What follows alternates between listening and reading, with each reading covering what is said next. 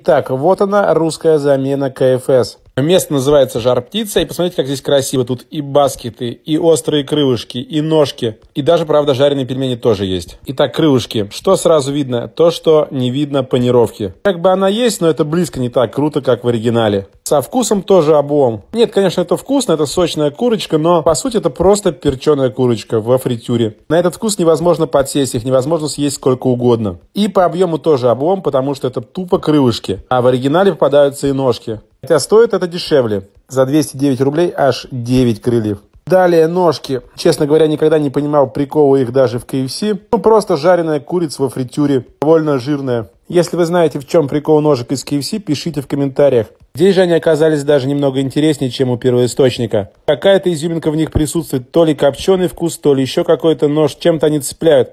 Так что любители ножек можете попробовать и сравнить. По цене они стоят ровно столько же, сколько и в KFC. За две ножки отдали 104 рубля. Далее немного про саму жар-пиццу. Ну, во-первых, пицца. Пицца как пицца, ничего интересного, но тесто нам показалось толстоватым. Было бы оно немного потоньше, было бы гораздо вкуснее. Кстати, жар-пицца – это такая сеть, которая представлена во многих городах России. Может быть, вы встречали. Картошка фри, она стоит недорого, но порадовало то, что она довольно плотно набита. Показалось, что ее больше, чем в маке. Ну, выглядит все цивильно и прилично, ничего интересного.